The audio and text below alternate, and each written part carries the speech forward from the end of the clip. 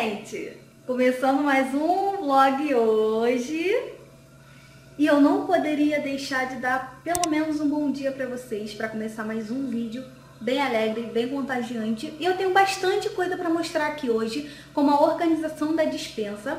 Eu tenho também que fazer pastinha de alho, limpar camarão, mostrar várias dicas para vocês e técnicas de como eu uso que talvez possam servir para vocês. É, também tem a organização do banheiro, que eu vou mostrar para vocês ali, sobre as gavetas que vocês estão me perguntando aqui nos comentários. Então eu resolvi compartilhar o que, que eu guardo dentro delas e como que eu organizo isso, tá bom? E como sempre no vlog tem aquela receitinha que vocês gostam, eu não poderia deixar de compartilhar essa receita com vocês, que seria um salpicão. Hoje eu vou fazer um salpicão delicioso, maravilhoso. Eu espero muito que vocês gostem do vlog de hoje, tá? Então bora lá participar, já se inscreva no canal. Se você não é inscrito, ative o sininho, é, deixa aquele like, aqueles comentários e chega de conversa. Bora pro vídeo de hoje. Nossa, eu gostei de fazer isso. Ai, que loucura! Vamos lá, eu acabei de arrumar toda a cozinha aqui. É, eu já limpei já tudo que eu precisava, só que agora eu preciso arrumar aquela parte ali do armário, porque nós chegamos no mercado com as compras, eu entulei tudo ali e eu não organizei nada, tá? É... Aí tá uma bagunça danada, eu não tenho organizadores ainda, mas se eu ficar esperando por esses organizadores eu não vou terminar de arrumar nunca. Então, assim, eu vou arrumar aqui essa parte aqui, essa partezinha também que fica nas compras e essa parte aqui de cima que eu vou mostrar pra vocês agora.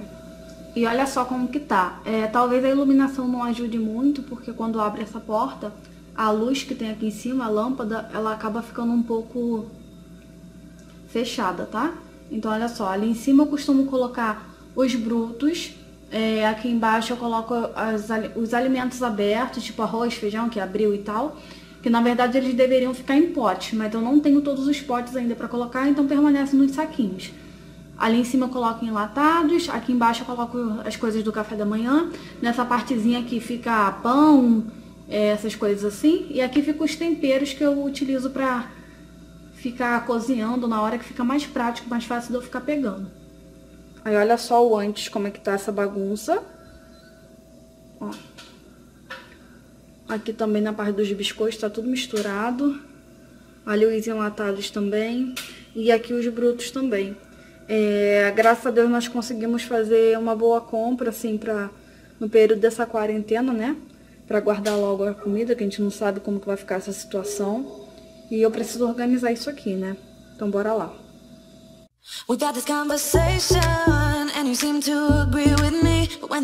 This complications you withdraw and leave me to be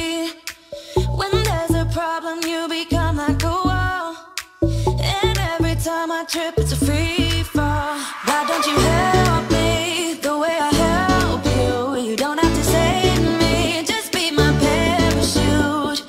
When I'm feeling down, you're just not there, making sure I'm okay. Why Aí eu coloquei tudo aqui pra baixo e vou separar por partes. Eu desci todos os biscoitos e ali os mantimentos abertos, porque se eu misturar tudo vai ser mais difícil de eu organizar novamente. Aí eu vou vendo aqui a posição mais ou menos do que eu posso fazer, né? Eu tinha esses dois organizadores ali guardados. É... Eu comprei eles há muitos anos atrás, muito tempo atrás mesmo. Eu vou tentar organizar os biscoitos impérios aqui. Acho que deve dar uma ajuda, né? Deve ficar um pouco melhor.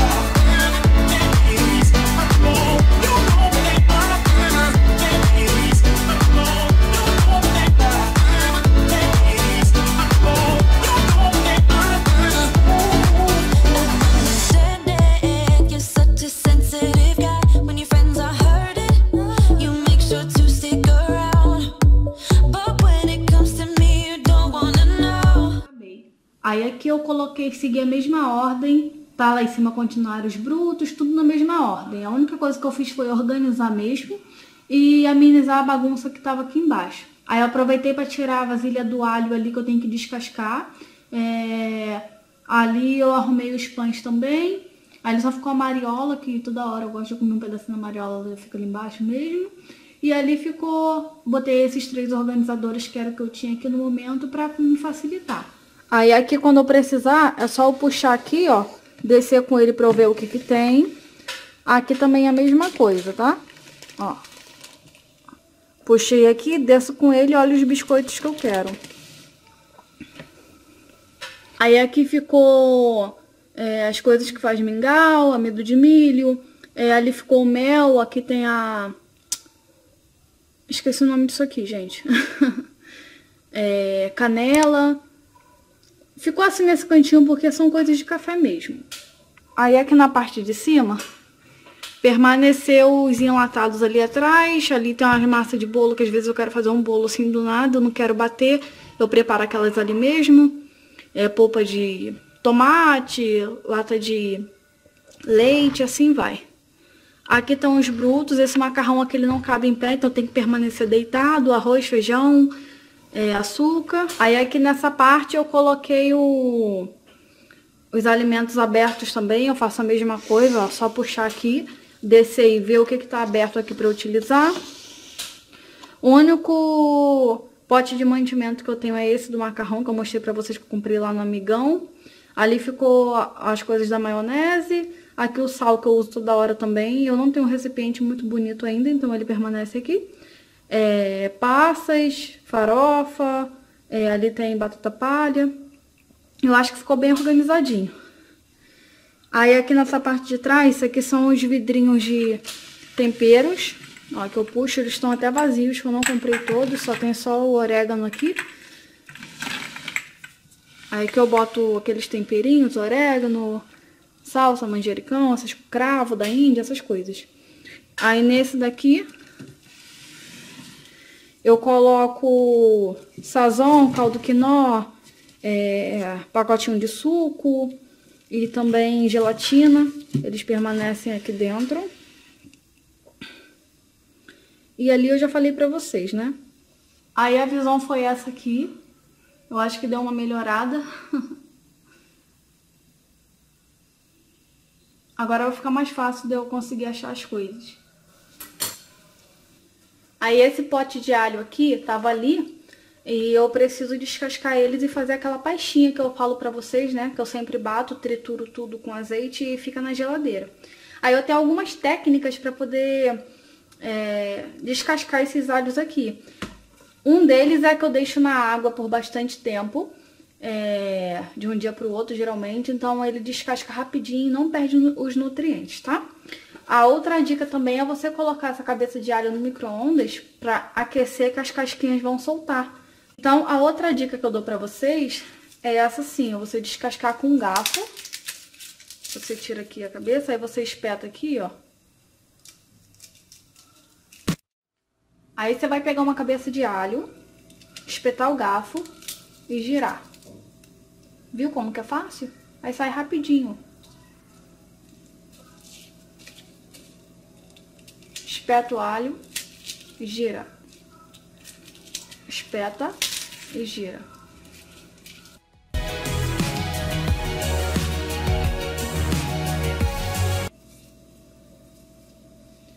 Uma outra dica é você pegar um recipiente assim, colocar os dentes de alho. Ó, repare que os dentes de alho tá tudo preso, tá? Ui! Ó, nenhum deles está estão soltos não, tá? Aí você coloca os dentes de alho aqui. Quantos você quiser. Aí leva por micro-ondas por uns 30 segundos. É, as pessoas não recomendam, eu escuto muita gente falar que isso perde a propriedade do alho e tudo mais, só que eu não vi um estudo comprovado sobre isso, tá?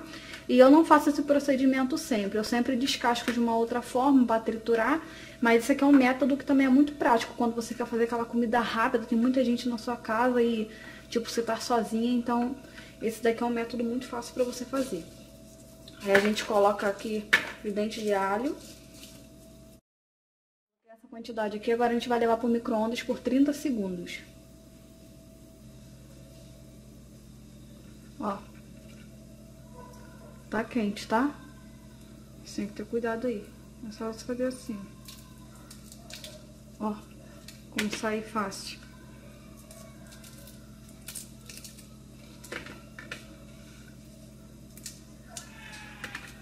Ai. Fica quente. Ó. Soltinho.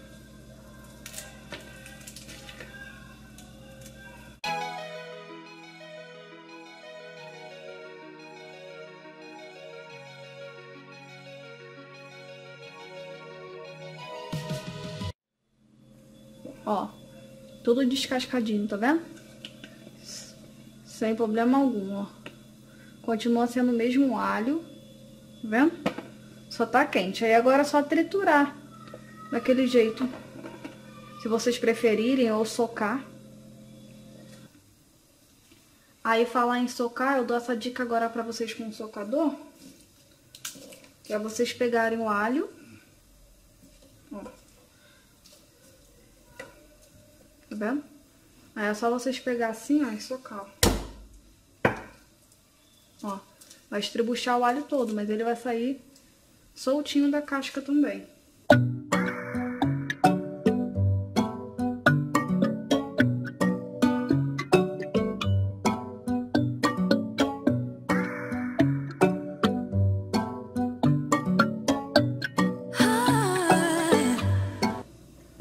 Agora que todos os alhos estão é, descascados, eu preciso triturar eles é, como eu fiz no outro vídeo, tá? Aí pra fazer isso, eu uso sempre um mix, que no caso é esse mix aqui que eu tenho, tá? Esse daqui é o da Filco. Mas eu também tenho um outro que eu sempre tô usando aqui e vocês sempre vivem me perguntando. Eu pretendo fazer um vídeo, um vídeo de eletrodomésticos falando pra vocês todos que eu tenho, qual vale a pena, onde eu comprei, quanto eu paguei e pra que serve, tá? É, eu tô me organizando aí pra fazer esse vídeo pra vocês. Esse daqui é o da Filco. Esse daqui é da Filco e existe vários modelos, é, vários preços na verdade, né? Então eu vou ver se eu deixo um link aqui pra vocês aqui embaixo de algum que eu achar com a descrição para vocês derem uma, darem uma olhada, sendo que é bom vocês pesquisarem o valor, tá? Eu indico, ele é muito bom, só não é tão potente quanto o outro. É para bater coisas leves como cebola, alho, essas coisas assim. He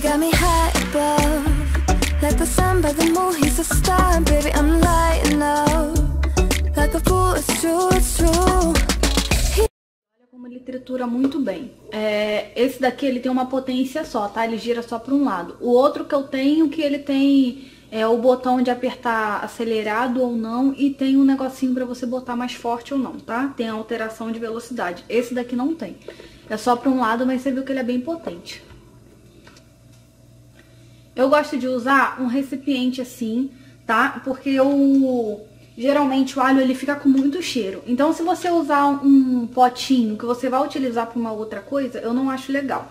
Esse daqui é de maionese, tá vendo? Então o que, que eu faço? Me julguem, eu não gosto de reutilizar esses potinhos assim. É... Eu prefiro às vezes usar uns potinhos padronizados, como eu já falei pra vocês. Mas como é pra alho eu também gosto de congelar, eu prefiro esse tipo de potinho aqui, que aí eu sei que eu não vou usar pra outra coisa. Olha, o legal é que ele tem uma trava de segurança. E essa trava de segurança é essa parte da tampa aqui. Se você só encaixar essa parte aqui e ligar, ele não funciona. Ó, tá vendo? Ele não funciona. Ele só funciona se tiver com a tampa. E a tampa é esse pedacinho aqui, ó. Esse negocinho aqui. Então, olha só. Eu vou encaixar aqui. E isso daqui precisa entrar aqui dentro. Quando essa pecinha entra aqui dentro, aí sim ativa algo aqui que funciona. Então assim, é... para quem tem criança, essas coisas que gosta de mexer no eletrodoméstico, tem que ter aquele certo cuidado, até mesmo idoso, por causa da hélice, que tem que ter muito cuidado, isso daqui é super valioso.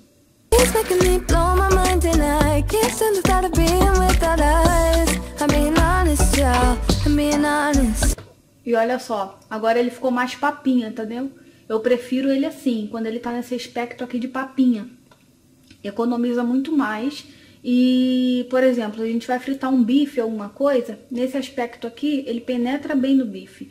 Agora, se o alho tiver grande, na hora que for fritar, ele vai queimar o alho e não vai terminar de preparar o bife, entendeu? Então, quando fica assim paixinha, ele é melhor pra gente utilizar nas receitas. Como eu já enchi esse potinho aqui, que é aquele potinho da maionese, é, eu vou utilizar um outro potinho, que aí eu peguei esse daqui. Sabe esses potinhos aqui que geralmente a gente come bolo de pote ou quando compra passas, alguma coisa no supermercado? Esses potinhos aqui eu já compro a embalagem pronta porque eu trabalho com isso, né? É, mas assim, vocês podem comprar também para vocês organizarem a alimentação de vocês aí, não tem problema nenhum. Inclusive eu dei uma dica do da salada de fruta é, lá no meu Instagram essa semana, que você pode fazer a salada de fruta e colocar aqui dentro e ir comendo durante a semana, entendeu? Durante aí os seus dias, que sem problema nenhum não vai estragar. É só você correr lá no meu Instagram, arroba alugado para dois, que você vai ver a dica que eu dei lá, tá bom?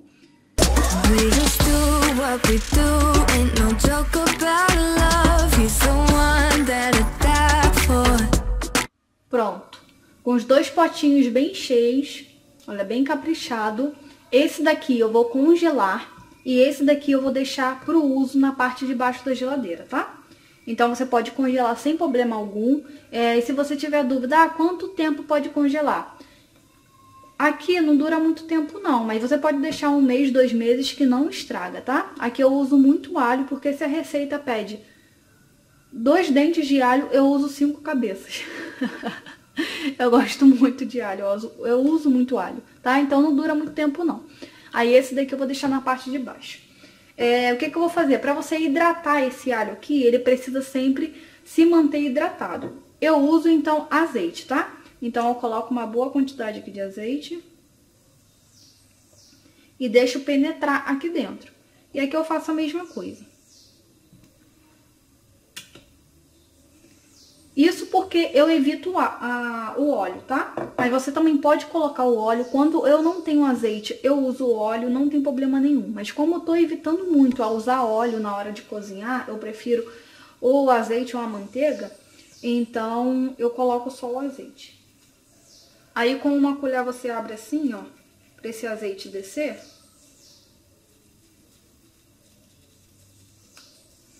E repara como ele fica, ó, bem pastoso, bem cremoso, tá vendo? Isso aqui adianta muito na sua semana. Esse aqui é a mesma coisa, ó.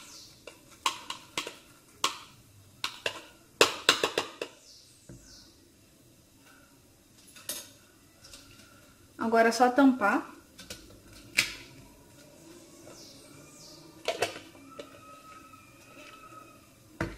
E prontinho. Toda vez que eu compro alho, eu faço esse procedimento aqui. É... Com isso aqui, por isso que não dá preguiça nenhuma de cozinhar, de preparar alguma coisa, porque a pior parte é fazer alho. E outra dica também muito interessante é que você pode fazer esse potinho aqui para vender, tá? Eu conheço pessoas que trabalham com isso daqui e ganham um bom dinheiro, porque tem gente que tem alergia, tem gente que tem alergia ao toque do alho, então não pode ficar mexendo com alho, descascar alho. Então, se você faz um potinho desse daqui e vende, isso aqui vende muito, tá? Eu, tenho, eu conheço uma pessoa que ganha vida com isso. Então, tranquilo. Agora é só você guardar, congelar e tá tudo certo. Então, aqui eu tô com um camarão. É... Eu tô... Tem 2 quilos de camarão aqui dentro, tá? E eu preciso limpar eles tudo para congelar, já deixar guardadinho quando for preparar uma receita. É, por que eu tô mostrando isso aqui pra vocês? Porque vocês gostam muito de ver como que eu é, facilito as coisas na cozinha. Então eu resolvi mostrar pra vocês, tá? Mas antes disso tudo, eu quero muito poder ajudar o rapaz que nos atendeu dessa peixaria aqui. Tá R$19,90 o preço do camarão lá e tá super em conta, porque geralmente tá de 30, 35 pra cima, 38, 40 reais. No mercado mesmo de peixe tá 40 reais, tá? Que é o lugar que deveria ser mais barato. E o camarão, gente, é bem grande. Olha só o tamanho desse camarão, como é gigante, tá? Eu quero ajudar muito ele porque ele foi muito simpático conosco. nos atendeu super bem, então não custa nada, tá? Então, de primeiro, eu já deixei ele de molho no vinagre com água e vinagre, tá? Que isso ajuda muito a tirar as bactérias e também soltar a casquinha. Como que eu faço, tá? Eu não uso a cabeça da, e nem a casca do camarão pra nada, exatamente pra nada, tá? Tem gente que usa aí receita com, com a casca e a cabeça, eu não gosto, tá? Ó, o camarão é bem gigante, então eu arranco a cabeça dele. Eu prefiro usar uma faca. E também tiro essa casquinha que tá em volta.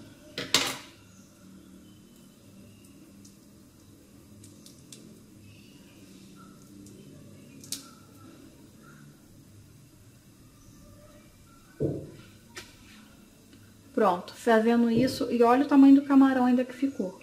Bem grandão, o tamanho do meu dedo mindinho. Eu pego uma... Ui, tem negócio aqui. Eu pego um palito de dente, enfio aqui, ó. Com muito cuidado, eu vou puxando aqui pra cima, pra que puxe essa trepinha aqui dela. Olha isso. Tá vendo? Aí você vai puxando assim com as mãos, ó. Ó, soltou a tripinha toda, tá vendo? Aí eu vou guardando assim no potinho e depois eu só lavo. Vou mostrar mais uma vez. Aqui tá o camarão. Eu tiro a cabeça. Arranco a casquinha.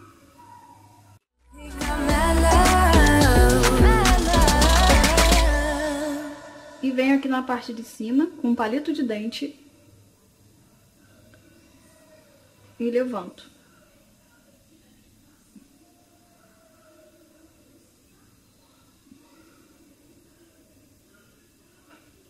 Olha isso.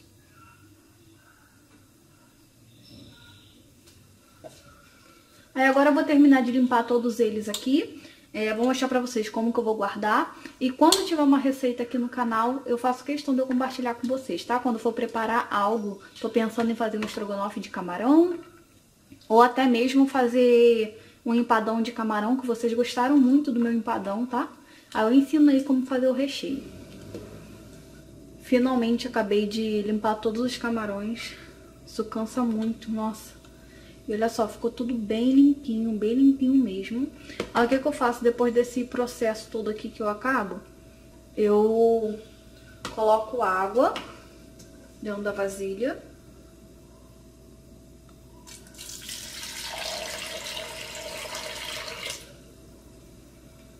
Sempre uso vinagre de álcool ou de maçã.